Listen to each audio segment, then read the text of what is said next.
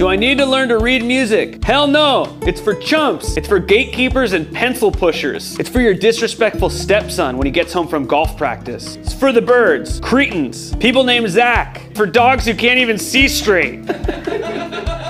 Hey, you don't have to fucking play music at all. Literally, no one is gonna give a shit if you stop. But hey, learning to read music is not a bad thing. We're really talking about reading standard notation. Do you have to learn to read that to play guitar? Definitely not. Probably a lot of your favorite guitar players don't read standard notation, and that has uh, not affected their career at all. But it's certainly not a bad thing to do, right? And I think it's cool to understand music. If you wanna be a session player, you definitely have to be able to read music and read really well. If you're not interested in reading music, you at least have to be able to read tabs. Really will speed all this stuff up for you. Congrats. These kids aren't French, they're American.